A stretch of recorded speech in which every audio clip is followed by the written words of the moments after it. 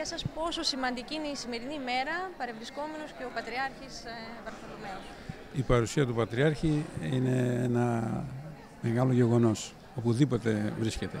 Πολύ περισσότερο μάλιστα όταν τιμάει ένα σωματείο. Είναι μεγάλη η τιμή την οποία μας έχει κάνει ο Παναγιώτατος. Το έργο του Σωματείου είναι βαρύ, είναι μεγάλο. θα συνεχίσουμε; Ε, το Σωματείο θα συνεχίσει. Εγώ δεν ξέρω βέβαια αν θα είμαι, αλλά είμαι πάντα δίπλα θα είμαι. Όπως ξεκίνησε το Σωματείο ήμουν πάντα δίπλα.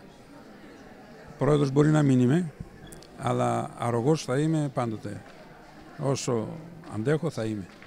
Δεν μπορώ να εγκαταλείψω το Σωματείο το οποίο α, ξεκίνησε και εμείς έχουμε και ειδική υποχρέωση γιατί ο πατέρας μου ήταν αυτός ο οποίος έκλεισε το μοναστήρι με τον ηγούμενο και τον μάγειρα. Οι τρεις ήταν τελευταίοι που φύγαν από το μοναστήρι.